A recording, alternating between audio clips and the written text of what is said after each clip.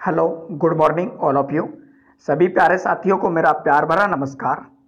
मैं Vivek Kumar UV competition channel में आप सभी का स्वागत करता हूँ। दोस्तों, रोज़ाना की तरह मैं लेकर हाजिर हूँ डेली करंट अफेयर्स जी के, जो कि आपका हिंदी और इंग्लिश लैंग्वेज में अपडेट्स हैं। मेरे प्यारे साथियों, आज 2 अप्रैल, बलिदान दिवस की आप सभी को हार्दिक बधाई।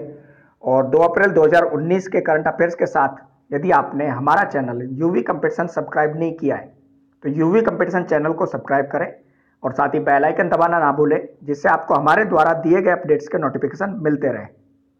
इसके साथ ही यदि आप राजस्थान जी और मैकेनिकल इंजीनियरिंग पढ़ने की इच्छा रखते हैं तो उसके लिए अन अकेडमी ऐप पर मुझे फॉलो करें। अन अकेडमी ऐप पर फॉलो करने का लिंक आपको इस वीडियो के डिस्क्रिप्शन में मिल जाएगा। आइए शुरू करते हैं आज के मुख्य समाचार। सबसे पहले बात करते हैं नेशनल न्यूज़ राष्ट्रीय समाचारों की। The Indian Space Research Organization ISRO has launched a defense intelligence satellite EMISAT in its 47th Polar Satellite Launch Vehicle PSLV mission along with 28 other customer satellites on board the advanced PSLV C-45 rocket. The PSLV C-45 was launched from ISRO's Satish Dhawan Space Center in Sriharikota.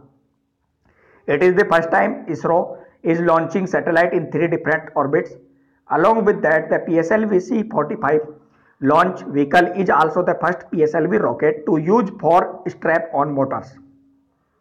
भारतीय अंतरिक्ष अनुसंधान संगठन इसरो ने अपने सैतालीसवें ध्रुवीय उपग्रह प्रक्षेपण यान मिशन में उन्नत पीएसएलवी सी पैंतालीस रॉकेट द्वारा 28 अन्य ग्राहक उपग्रहों के साथ एक उन्नत खुफिया उपग्रह एमिसेट लॉन्च किया है पीएसएलवी सी पैंतालीस को इसरो के श्री हरिकोटा के सतीश धवन स्पेस सेंटर से लॉन्च किया गया था। ऐसा पहली बार हुआ है जब इसरो ने तीन अलग अलग कक्षाओं में उपग्रह लॉन्च कर रहा है। इसके साथ ही PSLV C forty five launch वाहन, चार स्ट्रेप ऑन मोटर्स का उपयोग करने वाला पहला P S L V rocket भी है। Next, Garden Reach Shipbuilders and Engineers Limited GRSC become the, first Indian shipyard, to build and deliver hundred warships. GRSE Chairman and Managing Director, Rear Admiral retired VK Saxena formally handed over the 100 warship in LCU L56 to the Indian Navy. Garden Reach Shipbuilders and Engineers Limited 100 युद्धपोत बनाने और वितरित करने वाला पहला भारतीय shipyard बन गया है जीआरएससी के अध्यक्ष और प्रबंध निदेशक रियल एडमिरल वी के सक्सेना ने औपचारिक रूप से भारतीय नौसेना को सौवा युद्धपोत I N L C U L छप्पन सौंपा है। नेक्स्ट बात करते हैं इंटरनेशनल न्यूज़ अंतर्राष्ट्रीय समाचारों की। Tesla has develop the its largest power storage system in Asia at Osaka train station in Japan to reduce energy demand and provide emergency backup power to train in Japan it was launch in partnership with Kintetsu railway operator in Japan Osaka seven megawatt hours System is its largest energy storage project in Asia and the fourth largest in the Greater Asia Pacific region. Tesla ने ऊर्जा की मांग को कम करने और Japan में ट्रेनों के लिए आपातकालीन बैकअप शक्ति प्रदान करने के लिए जापान में ओसाका ट्रेन स्टेशन पर एशिया में अपनी सबसे बड़ी बिजली भंडारण प्रणाली विकसित की है इसे जापान के ओसाका में एक रेलवे ऑपरेटर किंसु के साथ साझेदारी में लॉन्च किया गया था टेस्ला ने कहा कि सात मेगावाट घंटे प्रणाली एशिया में इसकी सबसे बड़ी ऊर्जा भंडारण परियोजना है और एशिया प्रशांत क्षेत्र में चौथी सबसे बड़ी परियोजना है। नेक्स्ट बात करते हैं अपॉइंटमेंट्स नियुक्तियों की। Executive director of ICICI bank Vijaya bank Vijaya Chandok has been appointed as MD and CEO of ICICI securities a subsidiary of ICICI bank he will succeed Shilpa Naval Kumar he joined the ICICI group in 1993 ICICI bank के कार्यकारी निदेशक विजय चंदोक को ICICI bank की सहायक company, ICICI securities के MD और CEO के रूप में नियुक्त किया गया है। वह शिल्पा नवल कुमार का स्थान लेंगे। वह उन्नीस में आईसीआईसीआई में शामिल हुए थे। Next Manu Sani took over the international cricket council ICC chief executive officer CEO Sani has become working alongside the outgoing CEO David Richardson for the last six weeks to ensure a smooth transition within the organization.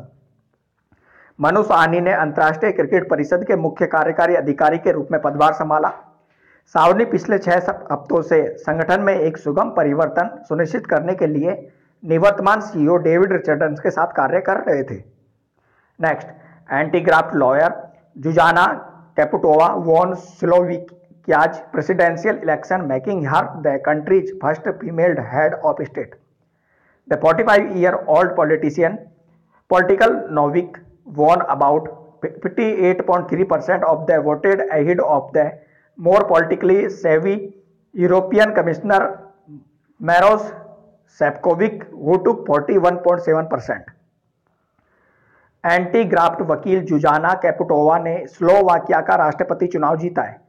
जिससे वह देश की पहली महिला प्रमुख बन गई है। राजनीति में नई 45 वर्षीय कैपुटोवा ने अधिक राजनीतिक रूप से जानकार यूरोपीय आयुक्त मारोस सेफ़ कोविच के 41.7 प्रतिशत मतों के सामने अट्ठावन प्रतिशत मत प्राप्त किए। नेक्स्ट बात करते हैं बैंकिंग न्यूज़ बैंकिंग समाचारों की।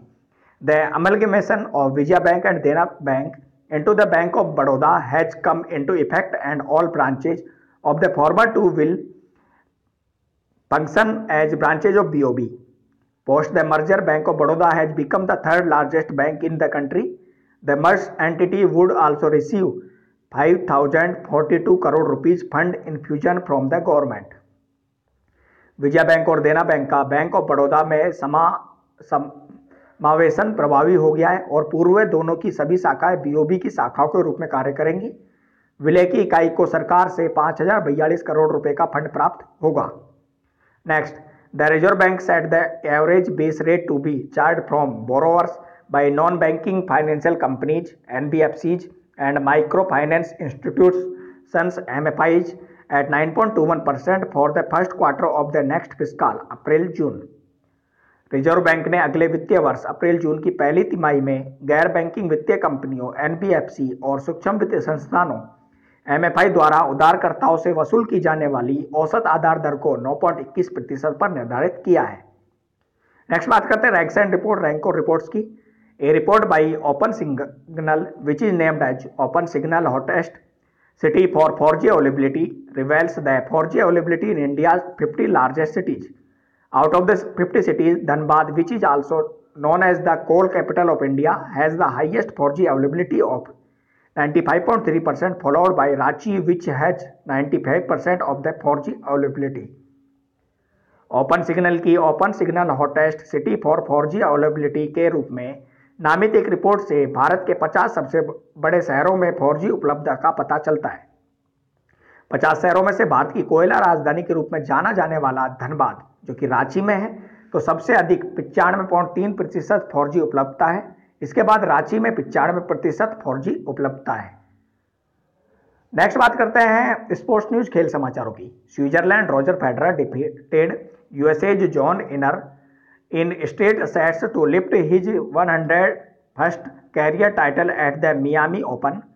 Roger Federer has lifted his fourth title at the Miami Open Federer is now behind only America Jimmy Connors with one hundred nine career signal titles Switzerland के Roger Federer ने USA के John Isner को सीधे सेटों में हराकर Miami open में अपने कैरियर का 101वां खिताब जीत लिया है।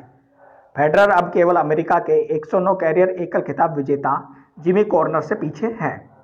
बात करते हैं last news, South Korea defeated India in the penalty shoot in the final of Sultan Azlan Shah cup 2090 seventeen rank South Korea defeated world number five India to win the Sultan Azlan Shah cup hockey cup which was held at Azlan Shah stadium in Ipoh Malaysia India lost the match by four two in the penalty shootout after regulation time ended 1-1 दक्षिण Korea ने सुल्तान Azlan Shah cup 2019 के final में भारत को penalty shootout में हराया है। सत्रहवीं rank वाले दक्षिण कोरिया ने वर्ल्ड नंबर पाँच। भारत को हराकर मलेशिया के इपो में अजलान शाह स्टेडियम में आयोजित सुल्तान अजलान शाह को हॉकी कप जीत लिया है। भारत विनियमन समय के एक एक से समाप्त होने के बाद पेनल्टी शूटआउट में चार दो से मैच हार गया है। तो मेरे प्यारे साथियों, ये थे आज के मुख्य समाचार, जो कि आपका करंट अफेयर्स है। सभी एग्ज़ाम्स के लिए इंपॉर्टेंट है।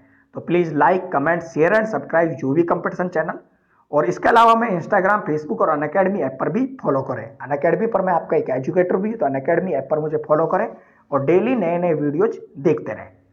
थैंक यू सो मच धन्यवाद, आपका दिन शुभ हो।